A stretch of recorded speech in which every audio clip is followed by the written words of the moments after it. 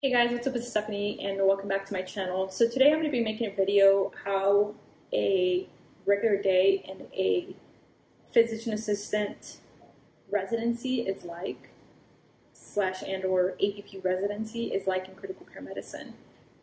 Hopefully this video is helpful for you for those of you who are wanting to pursue, for example, a residency slash fellowship after PA school or after nurse practitioner school. So, a little bit about me I am a physician assistant that's working in critical care medicine. I completed a PA APP residency about a few months ago. I graduated in December of 2020, and then I did a one year residency. And in that residency, the names are interchangeable, so depending on where you apply the program you apply to, they call them residents and or fellows. And they have different types of fellowship slash residency, which are postgraduate school in different specialties. So it's just depending on what you want to do. I wanted to do critical care medicine, but I know one of the popular ones nowadays is emergency medicine.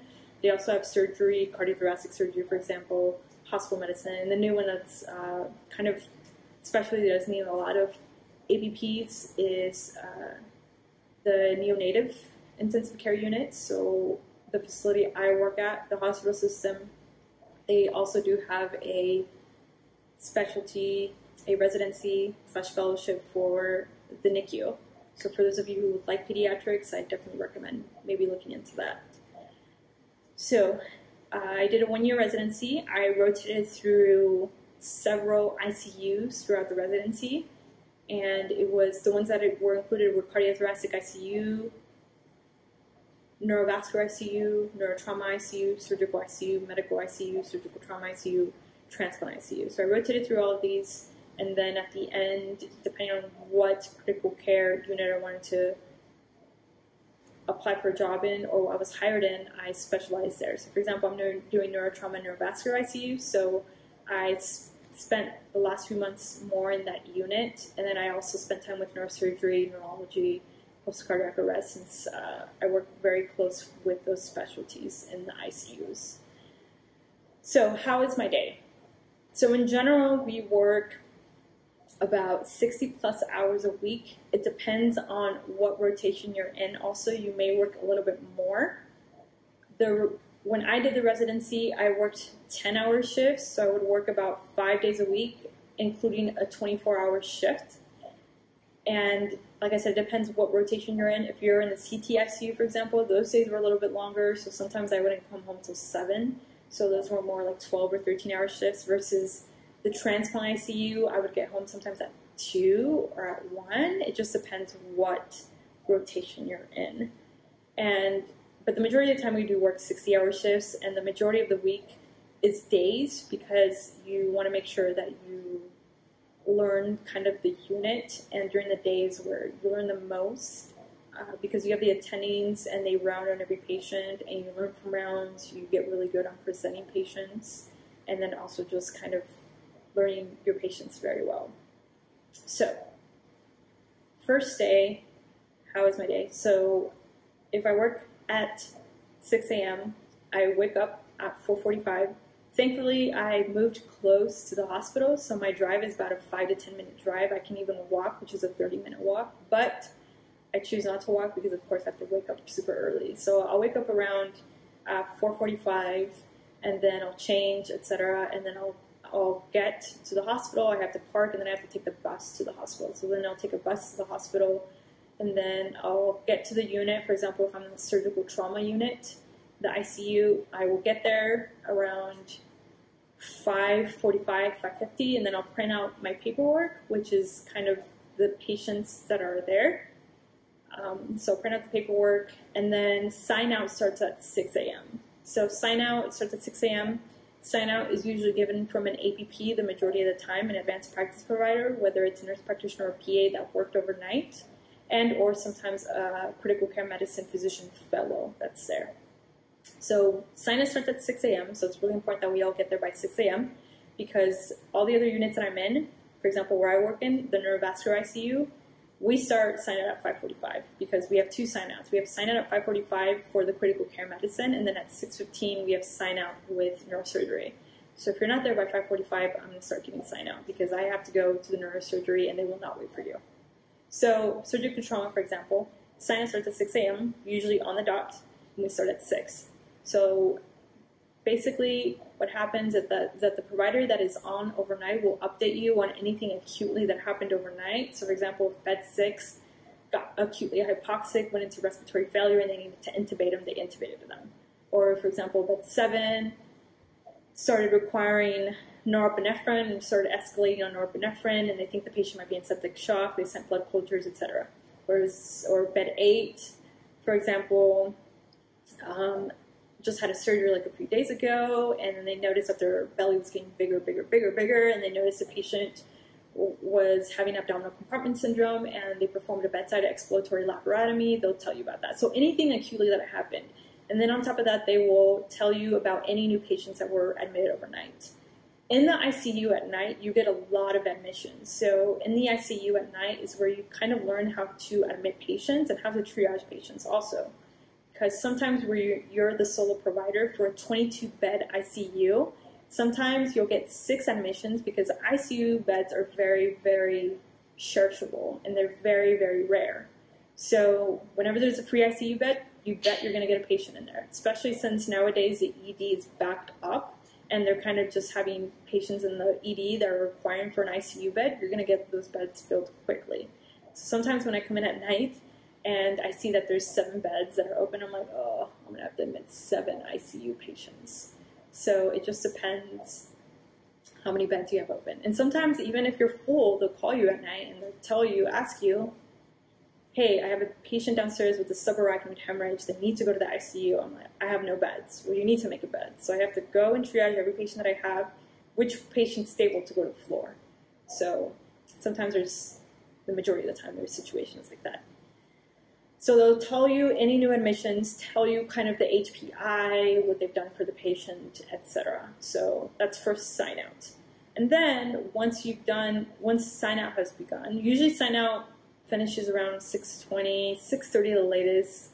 Um, if like, for example, you have seven admissions and then you have two patients that were acutely dying or something happened, or it also, it also depends on the person that's giving the sign out. Some providers like to give the sign out very long versus so it just depends. But usually it's 6.15, 6.30 the latest. So once that's done, um, usually depending on how many, how big your team is in the morning, because like I said, this is a surgical trauma ICU, there's 22 beds, you are going to divide those patients among everyone. So if there's only two of you, well, guess what? You're both getting 11. So 11 and 11 patients for the ICU you have to present. If you're getting, if you have like five or six of us, then it's a lot easier because maybe you only get four. So it just depends on how many people are there, on how many patients are going to be divided. Um, of course, if you are like the first few weeks and the first few months, you will not get that many patients. I think the max you'll get is two or three patients because, I mean, there's no point of getting six, seven, eleven patients if you can't really learn from them or have time to go examine them and look at their charts.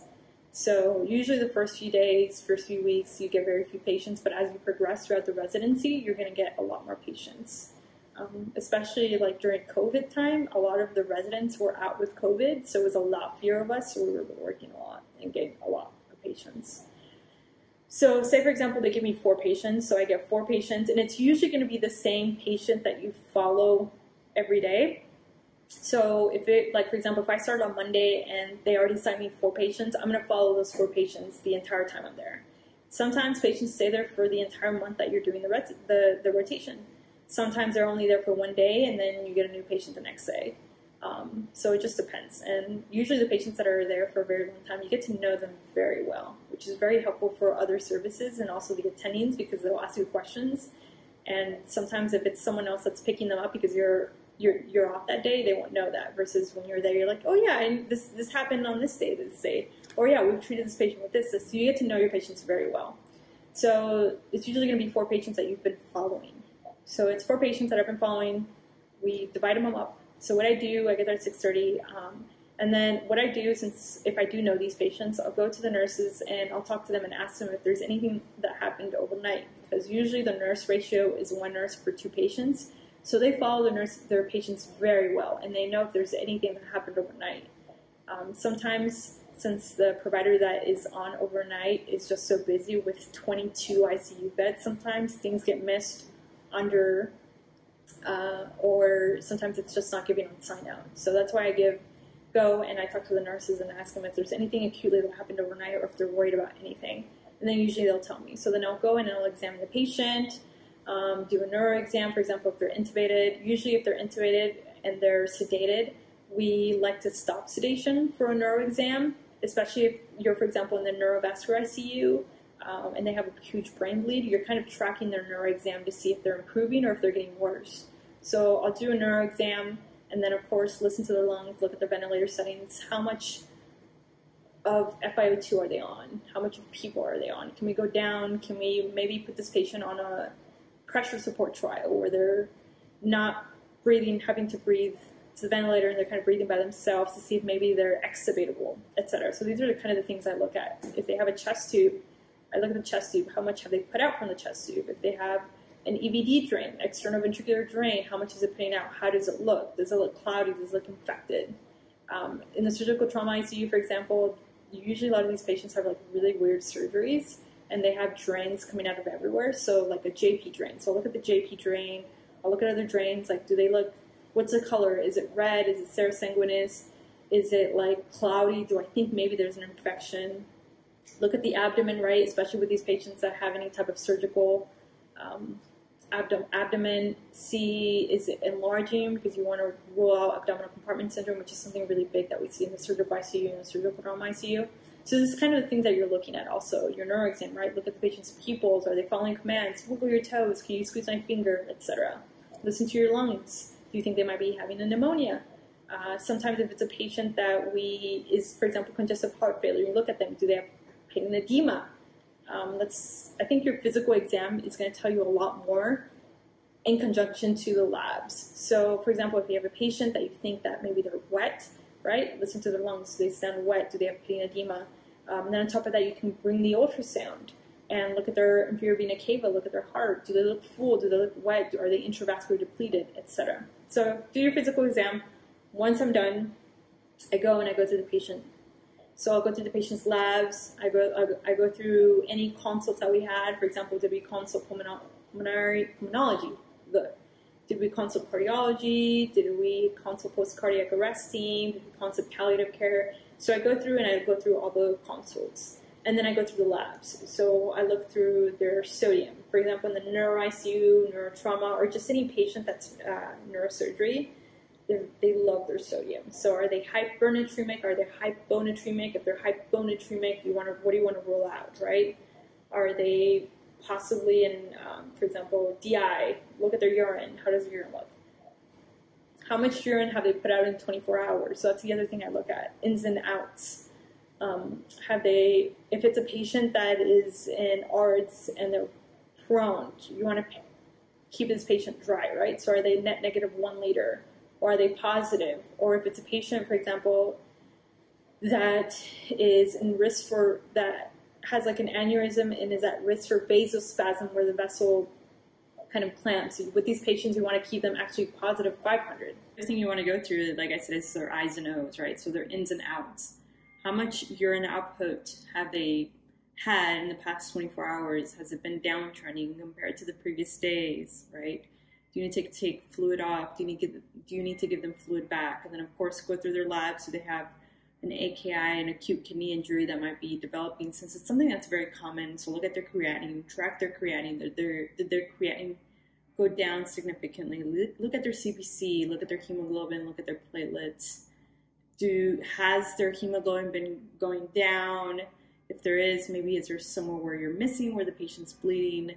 Also look at their platelets. How do their platelets look like? If there's an acute drop, is the patient maybe on heparin? Are you thinking about HIT, right? Heparin-induced thrombocytopenia, which is very common, something that we see in the ICU. So that's why it's really important that if you see the significant drop in platelets, that's something that you want to rule out in these patients. So CBC, go through your BMP, go through, for example, your I's and O's. I also like to go through the drains like I discussed, and usually the nurse is really good about updating how much the drains have put out. So if it's a chest tube, how much has it put out? If it's put out like less than 100 for the past 24 hours and it's been putting out less than 100 for the past few days and maybe it's time to take the chest tube out. If they have a drain is it putting out a lot? If there is like maybe you want to see if there's re-expansion of blood there especially if their hemoglobin's dropping then that can be your source of hemoglobin drop. And then you want to go through radiology right? Like we discussed go through the x-rays go through the ct scans etc. for these patients. So once you've gone through all your labs, you've gone through all the consults, and then you've gone through your radiology, your reports, etc. Then that's when I go back and I usually will edit my note before I present the patient. So in conjunction with everything you saw, the labs, like I said, the physical exam, reports, recommendations from the consult consults that you had. You go through the note and usually what I do is I'll prepare my note or prepare my presentation before I start rounds. So rounds start at 8 a.m. and I have to make sure that I go through all of this before 8 a.m. Sometimes I'm not able to prepare myself as much as I want to, especially if in the morning, uh, for example, if I have a patient that is one of mine that's actively crashing, I won't be able to go over the other patients. Or like I said, if you have more than four, five, six patients, you have a lot of them, then sometimes it does cut time and I'm not able to go through them as much as I like to. But for the most part, I like to prepare myself for the presentation. So then at 8 a.m. we start rounds. We'll start rounds with your fellow residents, the fellows, and then you also have the attending. So you're gonna present the attending. Usually what happens is that when you have the round, the nurse will go over any acute events. She'll start going through her exam and what she saw and also provide any recommendations. And then in addition to that, um, also kind of present the patient. So once you're done, then that's when I go and I start going system based on my presentation. It depends on what ICU you're in. Some ICUs do system based where you go neuro, pulmonary, cardiovascular, etc., all the way down. And then some other ICUs like problem based where you're just focusing on the problems. So for example, if they're here for a traumatic brain injury, then you focus on the traumatic brain injury and then etc. I personally like system based presentations because I feel like it's a little bit more organized and then on top of that you don't miss anything. Versus problem based it makes rounds go quicker but I feel like you're missing a lot of stuff. So the majority of the ICUs I rotated through did do system based so then I present my patient system based neural right? That's going to be the first one if you start up in the head. So any neurological patients that they have for example any uh, problems that they have. Are they, do they have a traumatic brain injury? Do they have a subarachnoid hemorrhage? If they do have a traumatic brain injury, do they have any drains? If they are, how much are the drains? Where is the drains putting out? Where is the drain at? What's the color of the drain? Are you suspecting maybe the drain might be infected? If the patient's going to have the drain removed, when? What is neurosurgery saying about the patient? When are they going to take them to the OR? If you got a CT head, what does the CT head look like compared to the one from yesterday, from the from that earlier morning, etc. So that's how you present that. And then of course I like to put pain also under neuro, neuro. And so I'll put pain, what pain medications is the patient on? Do we need to maybe de-escalate pain medications? Do we need to escalate pain medications, etc. Uh, I also like to put sedation under there, especially if the patient's intubated. What sedation are they on?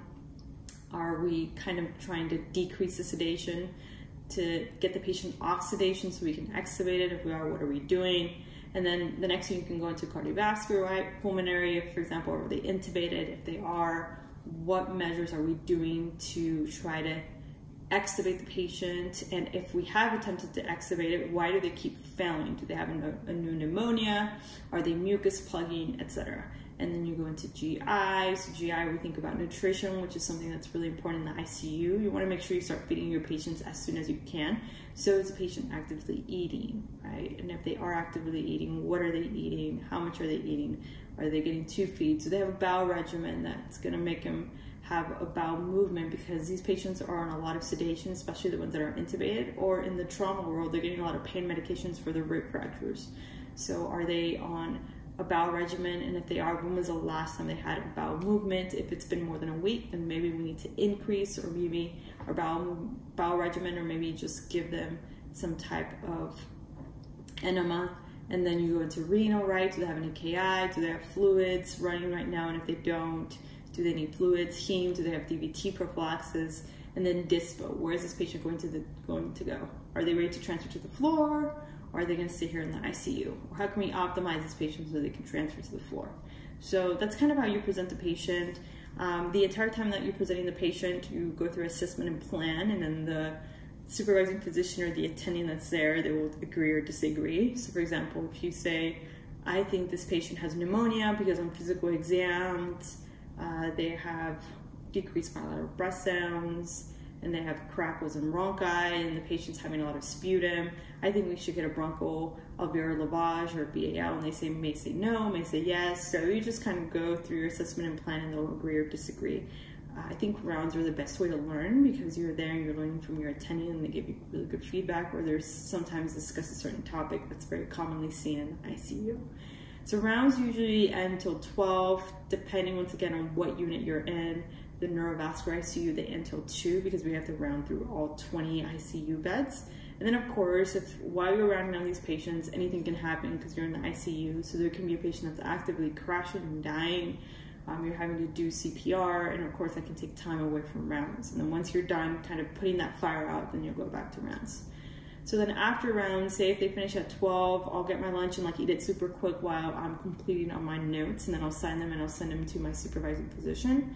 And then once I've done that, of course, I follow up with any type of consults that I need to follow up. So if rounds they wanted me to consult palliative care or cardiology, then I'll call and consult them and then just ensure that I give them the reason why I'm consulting them. And then on top of that, if there's, for example, any scans that need to be completed, I ensure that those scans are completed. And if they are, I'll follow up on those scans. If it was a repeat lab that we are going to get in the afternoon, I ensure it's, it's done and what was the result. And then also other things that I do is if a patient needs to be extubated that day, I make sure that the patient is extubated. And and in addition to that, any procedures that need to be done, if it's a patient that has an arterial line that is not working and I need to place a new one, then I'll place one. Or a patient that needs a chest tube, then we'll place a chest tube, etc. So that's usually what I do from 12 to around 4 or 6, depending on what ICU I'm in. And then once 4 or 6 p.m. comes around, that's when I give sign out to the APP provider overnight. So if it's a new APP that's a first time meeting these patients, then I kind of give them a one liner just so I can tell them a little bit about my patient and what they need to follow up on overnight.